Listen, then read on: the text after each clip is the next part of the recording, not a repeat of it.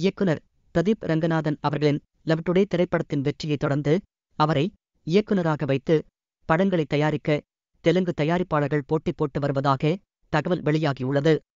வீடியோக்குள்ளே போகிறதுக்கு முன்னாடி நீங்கள் இன்னும் நம்ம சேனலை சப்ஸ்கிரைப் பண்ணலைன்னா மறக்காமல் சப்ஸ்கிரைப் பண்ணிக்கோங்க. நீங்கள் கொடுக்குற சப்போர்ட் தான் அடுத்தடுத்த வீடியோ பண்ணுறதுக்கு எனக்கு மோட்டிவேஷனாக இருக்கும்.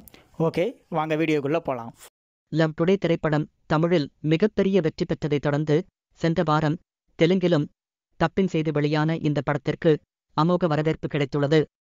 வெறும் மூன்று நாட்களில் ஏழு கோடி வரை வசூலித்து இந்த படம் லாபம் பார்க்க ஆரம்பித்து விட்டதாக அங்கிருந்து வரும் தகவல்கள் தெரிவிக்கிறது. இதனால் பிரதீப்பை இயக்குனராக வைத்து தமிழ் தெலுங்கில் படங்களை தயாரிக்க சில தெலுங்கு தயாரிப்பாளர்கள் பேச்சுவார்த்தையை ஆரம்பித்து விட்டார்கள் என்றும் தகவல் வெளியாகியுள்ளது.